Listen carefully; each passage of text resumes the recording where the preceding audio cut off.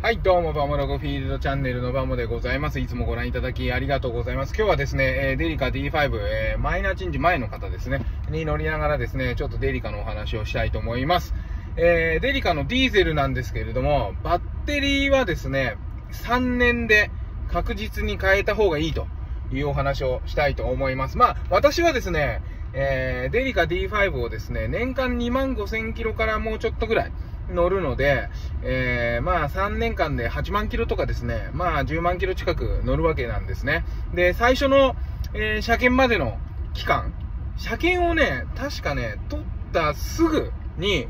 えー、次の日、エンジンがかからなくなりました。これね、バッテリーを、まあ車検で3年だけど、いつももうちょっと使ってるから、あのー、3年、4年ぐらい ?4 年経たないぐらいで交換すればいいかなと思って、車検でね、バッテリーを交換しなかったんですよ。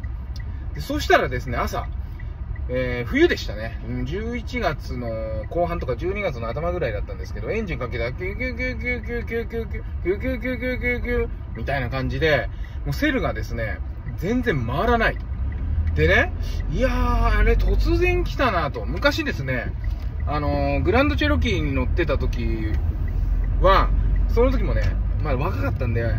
お金がなくて買えてなかったのね、その時は。その時は、走りながらですね、止まっちゃったんですよ。あのー、まあ、添加プラグ V8、ほら、グランドチェロキーって、えー、5.2リッターの V8 なんで、1本、ピストン1本が 660cc ぐらいあるんですね。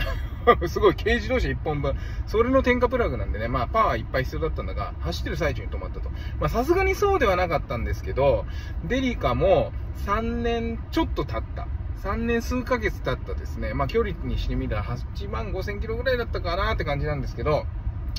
えー、そのバッテリーがですね、急に、えー、寿命が来ましたね。うん、なので、3年でデリカディーゼルの場合はですね、変えてほしいと思います。特に冬が、えー、やばくてですね、夏は調子良かったんだけど、突然寒くなってくるので、これから今、えー、10月でしょ？この動画撮ってるのが今10月22日なんですけど、これからもうどんどんどんどんね、えー、いくら温暖化とはいえ、冬は寒くなります。そうするとバッテリーの性能もですね、落ちてくるわけですよ。でその時に劣化してるとダメだと。で、他の車とね、違うところがあるんですよ。なんで早く交換しなきゃいけないか。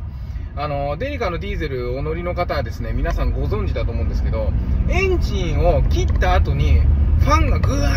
ーって回って、DPF の清掃してるなんか名残みたいなので、ファンがブワーンって回って、あのー、ずっとなんか、こう、音がしてね、マフラーからブーってなんか出てる時あるでしょあれ、あれが電気食うんですよ。あれをやるために、デリカのファンはモーターなんですよ。2つついてると思うんですけど、それはモーターで、ブワーって回るんですよ。それ結構バッテリー食うわけ。それが前日起きたんですよ。ああ、またやってるわ、と思って、うーんとかって夜遅く帰ってきたのに、あーってちょうどこういう音、あーんっていうのはなかなか終わんないなって思ってて、まあでも、いつも通りね、鍵閉めてピピッつって家入っちゃったわけですよ。で、次の朝、さあ出勤しようと思ったらエンジンがもうかからないと。こういうことが起きたんですね。で、今日ね、今これから、また3年経ったんでね、えー、6年目です。このデリカ6年目なんで、また3年経って、えー、ちょっとバッテリーをね、えー、新しいのに交換しに行くところなんでね、え、皆さんの、皆様にもですね、あの、同じ目にあってほしくないので、えー、ぜひ、バッテリーは元気なうちに取り替える。これが重要です。バッテリーは元気なうちに取り替えるということで、えー、皆さんね、あの、頭の中に入れていただいて、まあ3年、うん、まあ3年でね、えー、公開した方がいいかな。まあ、保証も最近のバッテリーの保証もね、3年間6万キロとかいう保証になってますんで、私の場合は3年よりも距離の方が先に来るんですけどね、丸6年で今15万6千キロ乗っておりますが、まだまだ、